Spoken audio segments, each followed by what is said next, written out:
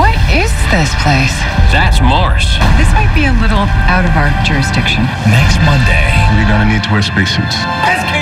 the planet may not be real, Something's down here. but the danger is. new Castle next Monday, 10 9 Central on